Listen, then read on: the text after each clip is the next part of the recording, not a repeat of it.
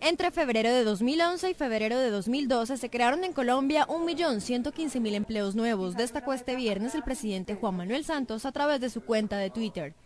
En el mismo sentido se pronunció el ministro de Hacienda Juan Carlos Echeverri en una declaración a la prensa desde la Casa de Nariño, luego del Consejo de Ministros liderado por el jefe de Estado, y destacó que en el mismo periodo la tasa de desempleo en Colombia disminuyó un punto porcentual de 12.9% a 11.9% y seguimos siendo un país líder en creación de empleo en la región. Hay en este momento 20 millones 200 mil colombianos empleados. Asimismo, el gobierno nacional puso en marcha un plan de contingencia para atender las emergencias causadas por la primera temporada de lluvias del 2012.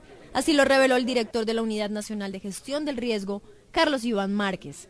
En este Consejo de Ministros se presentó el plan de contingencia que está en rigor en estos momentos para enfrentar esta primera temporada de lluvias que de acuerdo a los pronósticos del IDEAN van hasta finales del mes de mayo, principios del mes de junio. Por su parte, el ministro del Interior, Germán Vargas Lleras, destacó que el Congreso de la República haya dado vía libre a la ley que crea el Sistema Nacional de Emergencias y de Prevención de Riesgo. Esta ley le va a permitir al gobierno nacional tener una política integral en materia de atención de emergencias.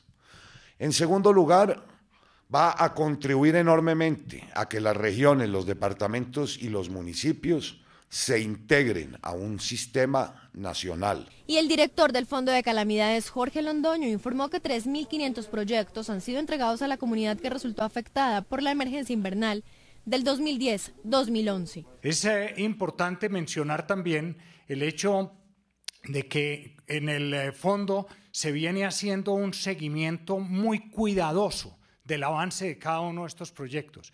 Por último, el director del IDEAM, Ricardo Lozano, dijo que la primera temporada de lluvias del 2012 coincide con el debilitamiento del fenómeno de la niña, lo que causará lluvias por encima de lo normal. La característica es que va a estar por encima del promedio, no con el mismo porcentaje de lluvias que tuvimos el año pasado, que tuvimos 400, 500% por encima del promedio, pero sí posiblemente un 50, un 60% por encima del promedio.